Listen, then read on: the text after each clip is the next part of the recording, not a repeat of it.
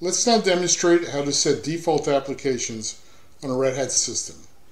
We go to the upper right hand corner, click on the top bar, then scroll down to the gears icon for settings, go down to the bottom for details, and then I can click on default applications. So you see under web or browser, there are three choices on this system. I have Google Chrome, Firefox, or Opera. We'll leave it at Google Chrome. For video, the default choice is Videos, which is actually a program called Totem. But let's switch it to the VLC Media Player. And for the image viewer, I have the built-in image viewer, or I could switch to the GNU image manipulation program, better known as GIMP.